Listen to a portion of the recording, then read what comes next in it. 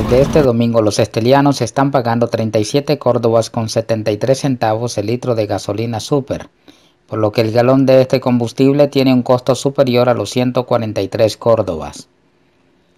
Ese precio equivale a un poco más de 4 dólares, convirtiéndose en uno de los más caros de la región centroamericana, mientras en Managua los conductores pagan casi 2 córdobas menos que en Estelí.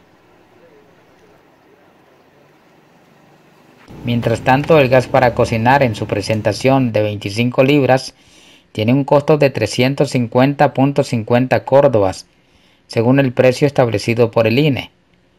Pero las agencias que ofrecen este producto hasta la casa del usuario cobran entre 370 a 385 córdobas.